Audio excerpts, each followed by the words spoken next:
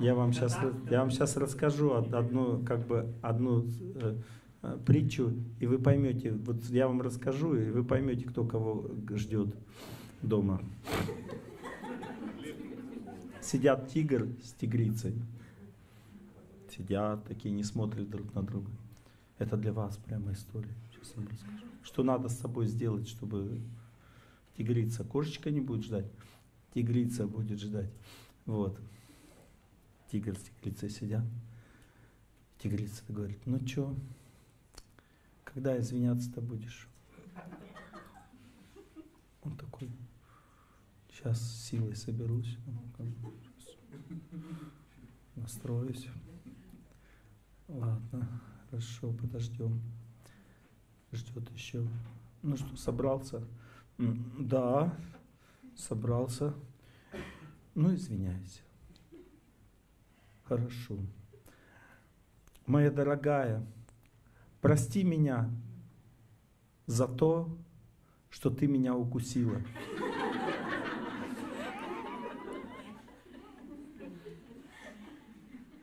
Life is life. La. Не верите? Поднимите руку. Кроме Лео, поднимите руку, у кого по-другому.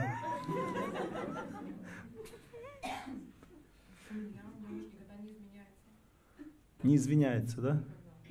Видите, одна только такая. Ну, таких очень мало. У вас тоже три. Три. То есть муж не извиняется у вас. А вам нравится это, нет? Нет. Нет? Видите, три подняли руку, но им всем не нравится. Уже, быв, уже бывший. Вот теперь, чтобы быть не бывшим, слушайте, чтобы быть не бывшим.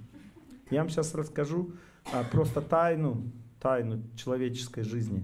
Тайну, послушайте меня, я не, сейчас не сучу, я серьезно говорю. Тайна человеческой жизни заключается в, в том, что женщина очень сильно хочет личного счастья. Для нее личное счастье – это когда муж ее очень сильно понимает, очень сильно. А у женщины психика очень сильнее, чем у мужчины. Ты хоть будь самым крутым, у женщины, хоть она внешне кажется такой, не психика сильнее. И а, я вам сейчас еще одну притчу расскажу, если вам про, про льва не понравилось. Сейчас про себя расскажу. Я когда, у меня большая очень поездка, долгая, 25 дней уже я еду. И перед этой поездкой э, жена на меня обиделась и подошла ко мне и говорит, сегодня ты будешь передо мной извиняться пять раз.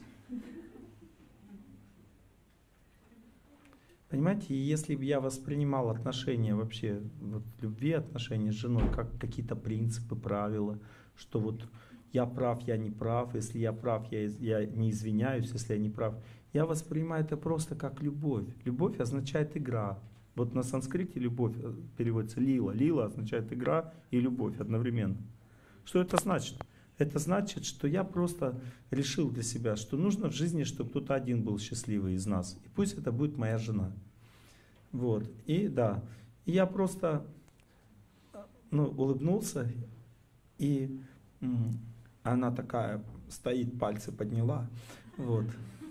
Я просто улыбнулся и начал, но я при этом не унижался, понимаете, унижение означает, что тебе не хочется, а тебя заставляют. А мне хочется, чтобы она была сейчас. Не, не хочется, чтобы она правда почувствовала, что ее правда выше моей. То есть э, это все ерунда. Я знаю, что все равно правда восторжествует, когда есть любовь. И я сразу любовь утверждаю принцип. Я встаю такой, внешне серьезный, внутри смеюсь. И такой говорю, прости меня, пожалуйста. Хотя вообще не чувствую себя виноватым даже не на один раз. Я первый раз говорю, прости меня, пожалуйста. Она, ну, уже знает, что бесполезно мне говорить, что я на лекциях говорю, что я не чувствую себя виноватым. Вот, я все равно скажу, что я чувствую себя виноватым. То есть бесполезно.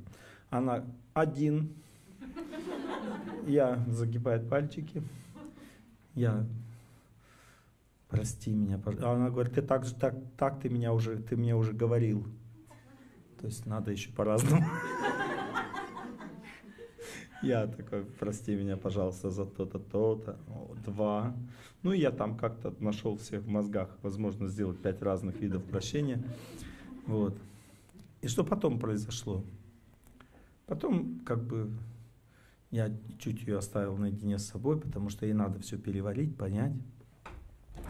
Но потом она подошла ко мне, обняла и сказала, что ты у меня самый лучший на свете человек, что на самом деле ты ни в чем не виноват и так далее.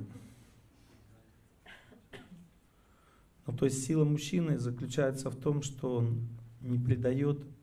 Вот знаете, мужественный мужчина, вот он, ну, он на войне сражался, да, и он, ему отношения женщины, это просто удовольствие. Там он не выясняет отношения, он выясняет отношения с этим миром. Понимаете, а с женщиной он просто, вот у него это любовь, игра. Он с ней ласково, по-доброму себя ведет. Если она совсем обнаглела, он там чуть-чуть отстраняется от нее, не разговаривает с ней, показывает, что это уже чересчур. 25 раз я точно не буду объяснять, извиняться подряд. Ну, примерно так. Вот. А, но у вас есть одна проблема. Для вас принципы в отношениях женщины выше любви. Из-за этого вы разрушаете отношения. И вы еще не понимаете, что женщина больше нуждается в отношениях и больше у женщины больше эгоизма в отношениях. Вы удивляетесь, почему женщины такие беспредельщицы в отношениях? Потому что у них там больше эгоизма. Вот у мужчины больше в деятельности эгоизма. Допустим, если мужчине сказать, что да ты такой, знаешь, ну как бы в работе не очень, то все, а он не будет любить такую женщину. Это невозможно, потому что он туда вкладывает все свои силы. Там весь его эгоизм находится, но у женщины весь эгоизм находится именно в отношениях. Поэтому она никогда в отношениях не сможет уступить. Если у них есть какие-то у нее какие-то принципы, правила, она будет им следовать. Поэтому, конечно, есть восточные женщины. Восточные означают очень сильные, как личности. Они будут уступать всегда, но при этом они не будут терять свое достоинство. Но понимаете, для восточной женщины мужчина должен быть очень благородным. Она должна знать, для кого она платит свою цену. В любом случае, в конечном счете оказывается, что мужчина должен дать женщине быть счастливой. То есть, если женщина счастлива, то она всегда будет уважать мужчину. Но если говорить об отношениях, то часто женщина диктует свои права на отношения с любым мужчиной, потому что там находится ее зона счастья и наслаждения. Она наслаждается именно отношениями с женщиной. А мужчина наслаждается присутствием женщины, тем, что она ему верна. Вот если она верна, он наслаждается. Если она заботится, ласково себя ведет, наслаждается. Но отношения для него это просто надежность женщины, надежность. А женщине нужно именно, как он будет с ней себя вести, говорить. То есть она очень сильно настроена на это. И если она видит, что он не нежно, не ласково себя ведет, она сразу такая вскипает. И очень тяжело это принять. Она может, конечно, не говорить ничего, но будет думать. И у женщины психика сильнее. Если она обиделась, она будет обижаться неделю. Вот мужчина, он обиделся, там, два дня пообижался максимум, и все. Он уже не может, у него нет сил на это и времени. А женщина будет неделю спокойно обижаться вообще без проблем. У нее есть силы как бы годами, Олег Геннадьевич, неделю, годами.